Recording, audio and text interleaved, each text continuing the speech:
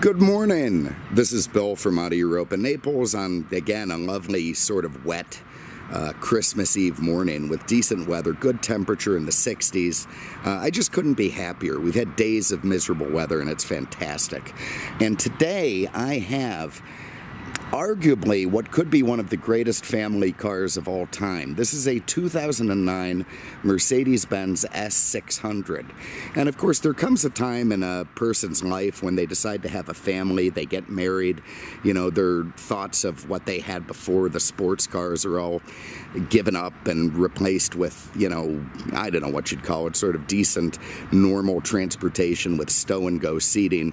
And, you know, if you're not of the highest budget, you've got to sort of peruse your way through all the different used car options out there and come up with the car that best suits your family. And I would argue that uh, if you're, uh, you know, a young man out there whose wife is looking for some kind of ridiculous SUV thing, like, I don't know, one of these things here that has a bunch of seats and sits like a school bus, you should try to convince her uh, to getting into this. Uh, this again, an 09 Mercedes-Benz S600. Uh, there's many arguments you can make for it. Number one, it's been depreciated quite a bit. I mean, this is a car that cost new in 09 maybe $150,000, which is a lot of dough. And now it can be bought for right around 10% or less of that. So uh, the value is there. Number two, it's loaded with safety features. I mean, those little kids are going to be safe as hell in this thing. There's all sorts of seatbelt tensioners and airbags and side impact stuff and rollover stuff. Uh, your kids will never have felt so safe. And of course, when you take out the high center of gravity uh, that the SUVs have, the chances of rolling over are next to nil. So, uh, anyway, as we go around these things, we'll get into why this makes such a great family car. Uh, now, this is the W221 S Class. Uh, it replaced the, um, what the hell did it replace? The W220, uh, which was bigger and wider and bigger inside than the previous S Class, the W140. I know this is all a pain in the ass, but I got to get through it. Uh, which uh, the 140 was widely considered to be one of the most over engineered cars ever produced, if not the most over engineered car ever produced. Uh, I mean, it was shocking. Uh, the 220 toned that back a little bit. Uh, it became, you know, some people would have called it cheaper or or uh, you know less uh, built, uh, and that's fine because it really was impossible to build the successor to the 140. As um, in fact, I've got one back here I can show you. It was impossible to build it any more overbuilt than it already was. So they really had only one direction to go, uh, and that was to make the car a little more simple. Uh, there you see we've got two of them. Those um, uh, black cars poking out right there. still love those things. They really are to me in many ways the pinnacle of the S-Class, at least in terms of design. But um, Anyway, that's kind of a neat piece. But get into this. So the 220 came out. A lot of people didn't like it uh, for whatever reason. And then the 221 was a great leap forward in terms of design, materials, accoutrements, technology. You know, the S has always been on the cutting edge of cars, but uh, this particular model uh, took that even beyond uh, most of the normal leaps. And they, they make, you know, 150 grand thing like this with all kinds of technology, and then that ultimately filters its way down into smaller cars. Mercedes-Benz ends up with a lot of safety and performance patents. Uh, the styling was a little bit controversial. Some people didn't like all the fender humps and stuff it has. They said it looked like an overblown RX-8. Yeah, it's fine. I think it looks great. I think it looks like a big, imposing S-Class. And, you know, if you ask people, uh, you know, about Mercedes-Benz, the S is one of the cars that they're going to know. And uh, so I think it has to make an impact. You see the sun's coming out and starting to bother us. Uh, when you opt for this package, this version, the S600, you do get some extra stuff uh, over the um, uh, already pretty expensive S550. There's one right there. Uh, very similar. In fact, I think this is the same year. That one does have the sport package uh, with the AMG wheels and such. But on this S600, you get the 600 wheels, which are more special and more bigger. So you still get the same sport package, but uh, a few little accoutrements so that people knew you spent the extra 50 grand. You see it as uh, sort of boxy quad pipes down there. Well, not really quad, but box to look like quad at the bottom. Uh, that's different from the S. Uh, it's got a pano roof up on top. You know, you do get a lot more options on these cars. And uh, there are a lot of fascinating features in this thing. 09 was the last year these cars had true mechanical steering. Uh, in 2010, it went to an electric design, which a lot of people didn't like because the steering feel pretty much evaporated. It was all done by computer in 2010, and not everyone loved that. This was the last one where you were truly connected to the steering in the front. Uh, you can see those big bi-xenon headlamp assemblies. Uh, this little guy here, this little plastic thing in the grill, which you don't see in the other S over there, uh, is part of the Distronic cruise control, sort of a radar-based cruise control. Uh, you see it also has a uh, camera up top that works in conjunction with that and also gives you night vision, uh, which is, of course, a very useful tool in, a, in, the world of. You never know when you're going down the road. You're, you're going to live in a family neighborhood. It's dark out. Some little crappy kid could have escaped his window and run out into the street in the middle of the night. Uh, you know, with night vision on this S600, you're not going to run him over, and that's going to make everyone happy, probably. So, uh, again, good arguments to use when dealing with the wife. And this car, now this one in particular, it's I don't know if I ever mentioned this. We have two lots. We have our own lot here, and then we have a wholesale lot in a different location. And because this thing has over 100,000 miles, it's going to the wholesale lot where it's going to be a bargain for someone. And uh, I am sure that the cost of ownership is going to be very, very reasonable. Anyway, let's get into this thing. There's big Michelin's on there. Have a look inside the trunk. So plenty of room to put, you know, wiffle ball bats and high chairs and the, machetes, whatever a family needs if they're going to go have a picnic or something. Uh, you get a little infant containment net back here, but only when he's very small. They get the toddler size, they're going to crawl over that. Uh, another one over on this side. Under here, you have some kind of a compartment where you can put your Uzis and MAC 10s to uh, keep your family safe and uh, you can also hang some plastic shopping bags or roadkill from this little guy right here. So uh, pretty nice features in the trunk. Uh, also to take the pressure off the missus, she doesn't have to deal with like pushing down on the trunk lid. She can just press this guy and down it comes. It's got a power lift gate just like in a Toyota Highlander. Have a look under the hood.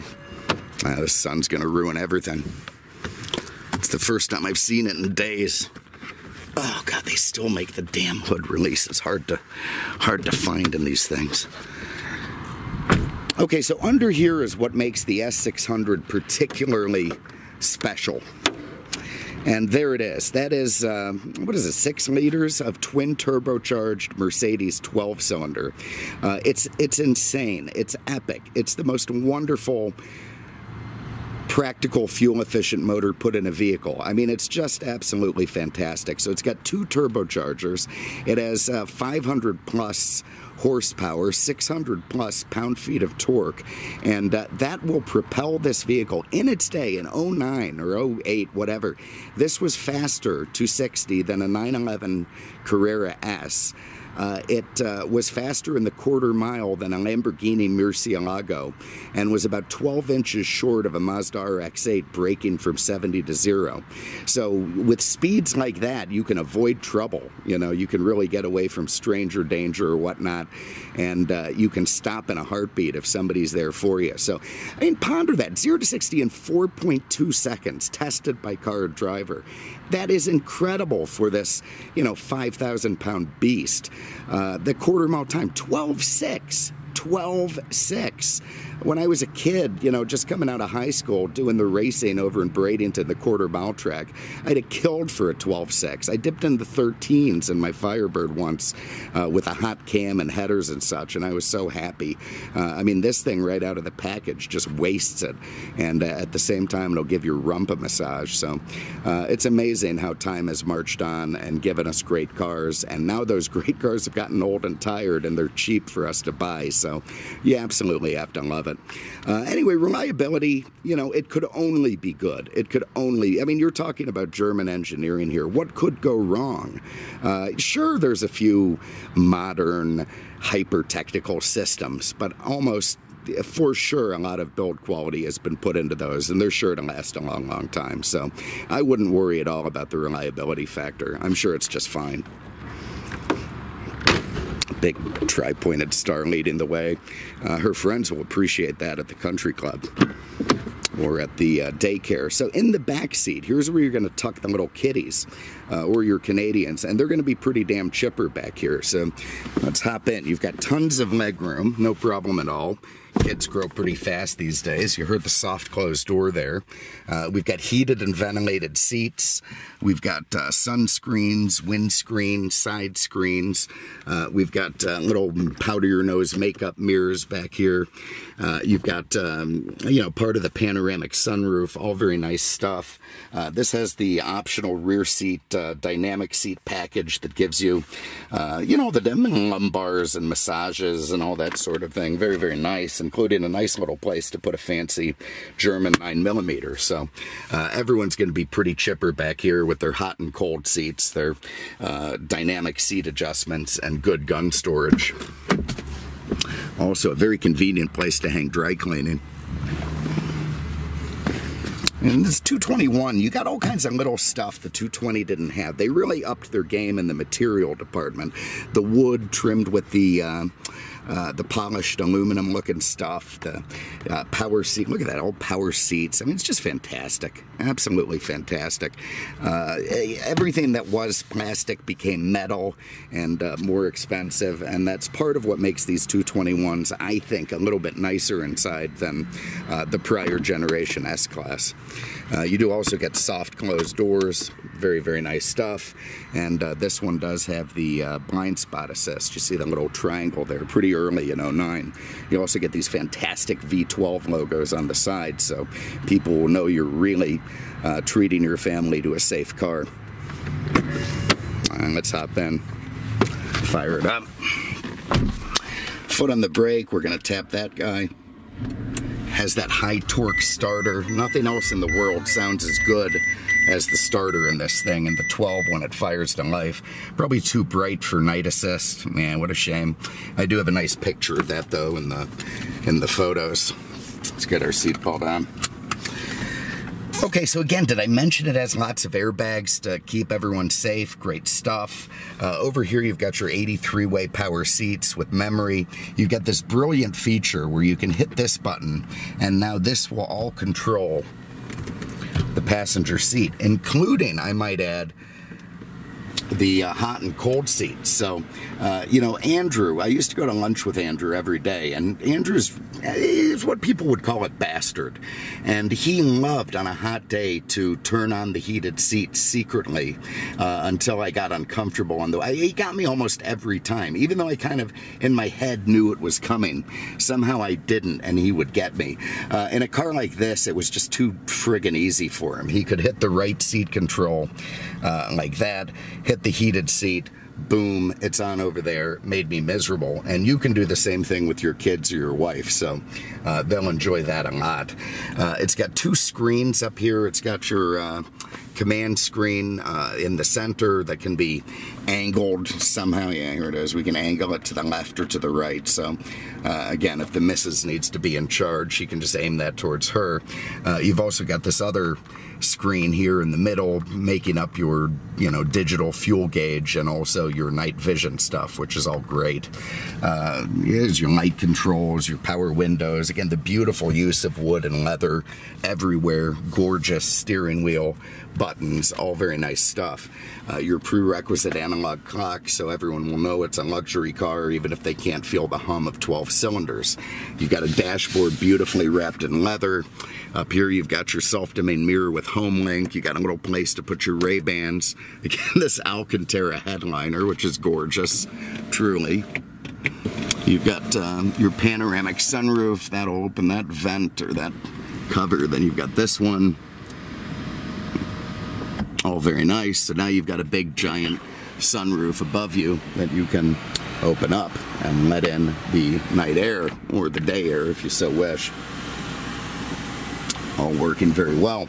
Uh, the command unit, probably the best at this era uh, version of uh, German one knob design. They give you this big aluminum paddle that uh, works everything, but also a nice bunch of uh, excess buttons to, to get it one handed. So, way better than BMW's system. You get up here and you can spin, you can get into your navigation, which you can then program with voice command, some feature the wife will like. Uh, over into audio, you can get into the telephone, the Bluetooth. You get into audio, you're going to get all the different audio stuff, your satellites, your DVDs, your MP3s, whatever you need to entertain yourself. What do we have now? Wow, that's some of the crappiest music I've ever heard. And we've got a dumpster guy looking to get in here. And uh, the idiot detailer is, of course, parked in front of the dumpster, even though he knows today is the day for it. So I hope that guy honks his air horns at him. Uh, anyway, over here is my favorite feature on this car. I press this guy, and I get the massage seats. Let's get over to pulse mode. There it is, fast and vigorous. Oh my God, if there's anything better in the world than a fast and vigorous massage from your V12 S class, I'm really not sure what it could be. Anyway, we're going to get hurried out of here, so let's just go. Hopefully, we've got some heat building in the engine. You got your little electronic shifter, you got your shifter paddles, your flippities at the 10 and 2. Uh, very, very nice stuff. You got a rear view camera, yeah, it's just got all the goodies. Uh, it has uh, electronic stability program that works with the traction control and ABS to uh, keep the car on the road. Uh, it's got uh, standard ABC sports suspension. Uh, that's a uh, very fantastic and uh, quite reliable system that pumps hydraulic fluid and air through all the different shocks and struts on the car to keep it level. So if you're braking really hard, it keeps the front end up. If you're, uh, you know, turning left or right really hard, it'll keep those sides pumped and keep the car straight and narrow. Very, very nice stuff. And again, a good safety pitch to the wife. Uh, oh my God, the massage seat. Oh, that is fantastic. She's to love that. Um, what do we have down here? Direct access for the climate control. All this stuff got more expensive. You know, these are metal buttons now instead of the plastic ones on the prior generation. Uh, the silver effect vents and such, all very lovely. Under here, you've got a CD changer, which is full of CDs. I shudder to think what we're going to find in here. See if I can get one to come out. That's probably broken. Nope, coming out. All right, so what do we got? Chris Botti slowing down the world. I never heard of it. Probably crap. Let's see what we got. Well, I have to load it now. Load. Okay. Oh, for the love of God.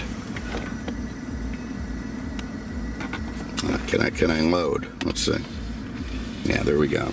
No, right back out it comes. I don't know what it is about car electronics, but they really hate me.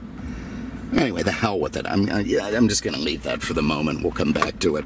Uh, down here, you've got um, some cup holders that miraculously look like they're not going to break. Uh, you have a genuine ashtray because uh, even if it's mostly poor people who smoke, you get rich enough and they start smoking again. So that works out pretty nice. You've got this lovely wooden console with buttons, direct access stuff. Uh, on the S600, this little guy, it's leather in the 550s. It's now uh, beautiful burr wood in here, kind of an egg-shaped thing where you can direct dial the phone or put in a radio station. In here, you've got the Bluetooth unit installed. Nice that it's there, but does take up room for gun storage. So obviously, you're going to have to find a different spot for your 9 mil. Uh, let's go for a spin. Oh, one more thing. I'll show you these uh, sunscreens in the back. They're all power activated and they work great. I think we also have a rear sunscreen up it comes so uh, you keep your kids nice and shaded. As global warming continues you can keep the UV rays off their necks. And one of those ridiculous Jeeps with the angry headlights. Oh no your Jeep's so angry. It's scary so anyway, driving this car is probably one of the finest. Even even even this tired, you know, ten year old hundred thousand miler, you still get the exact same feel that you would have got when it was new. I mean, it's a very different feel than say in that Saturn. very, very different. It is a mixture of solidity, uh, Teutonic poise, uh, body stiffness, and at the same time, it's soft and big and comfortable like a Bentley. I mean, it is a, it, it the way they have balanced those two things is, oh God, the massage seats. That's fantastic absolutely fantastic. If I could get it to perform the Asian massage function, it would save me a lot of money. Um, anyway, the ride of this car, you know, by virtue of the ABC Sport, which you could you could put on sport setting. Who gives a crap? We're going to leave it the way it is. But um, it it just beautifully blends, you know, that whole Lincoln Town Car cushy highway ride thing uh, with again something that could handle on a racetrack without embarrassing itself. Never mind the way it's out accelerating 911s and and um, Lamborghini Murcielagos. I mean, it's an absolutely incredible feat of engineering from uh, from Mercedes, and of course was enough at the time uh, to keep it ahead of the uh, BMW 750. It's of course uh, nemesis and, and rival the 7 Series of the S Class. Uh, Mercedes, I think, had it hands down in this area. I'm sure some BMW geeks will disagree, but you're wrong. You're wrong. In this generation, Mercedes had it. They took it to you and they won.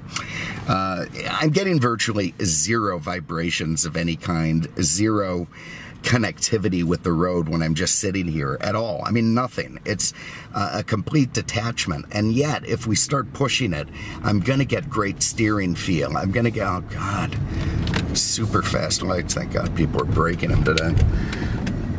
Uh, the poise of this car is just miraculous. Let's hammer it. You know, there's this little pause, the Mercedes pause, where it sort of says, okay, are you sure you want to do this?